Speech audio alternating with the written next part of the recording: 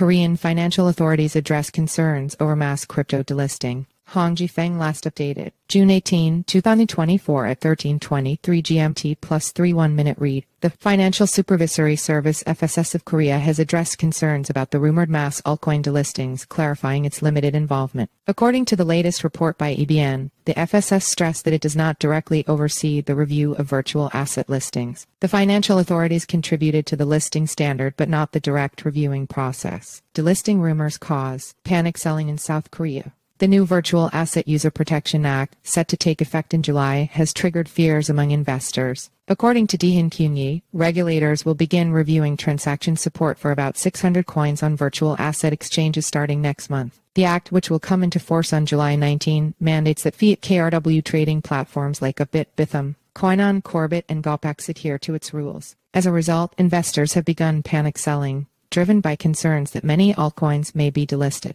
The report indicated that approximately 16 altcoins were rumored to be at risk of delisting from the won-based listing market by next June. This speculation led to a sharp decline in value, with about half of the coins listed on Upbit's won market dropping by 10-20%. FSS not directly involved in listing reviews. The Virtual Asset Supervision Department of the FSS stated the content mentioned is auxiliary material submitted to the National Assembly when the Virtual Asset Law was legislated. At that time, there was content in the National Assembly asking the Financial Supervisory Service to assist in establishing a unified listing standard for exchanges, the authority added. They continued, the financial authorities inspect virtual asset operators, not directly conduct reviews of the products. There was a demand to assist when creating best practices, which we participated in, but the announcement will be made by the exchanges and DAXA. An official from a domestic won-based exchange mentioned that the trading support best practices are intended to integrate the review standards previously conducted by each exchange into a unified framework. The official also suggested that the likelihood of mass delistings leading to consumer harm is minimal. They emphasize that the new practices are not expected to cause significant disruptions for investors. Follow us on Google News.